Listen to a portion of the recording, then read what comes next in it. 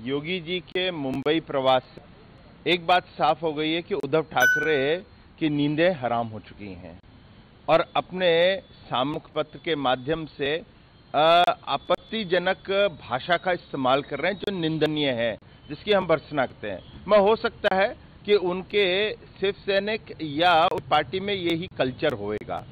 मगर एक बात साफ़ है, हम लोगों का स्वागत किया, बॉलीवुड के लोगों ने हम लोगों का जो प्रस्ताव है, खुले मन से कंपटीशन के आधार पर, जो एक नेचुरल कंपटीशन के आधार पर फ़िल्म सिटी बनाएँगे, जो आधुनिक होएगी, वहाँ पे निवेशक आना चाहते हैं, क्योंकि सुरक्षा का एक माहौल है।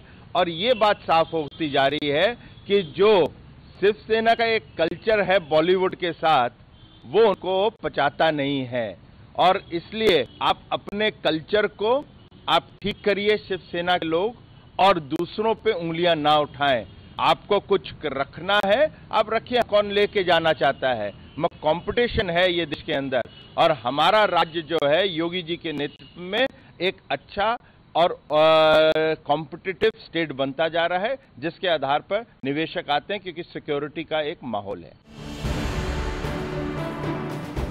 फ़िक्र आपकी।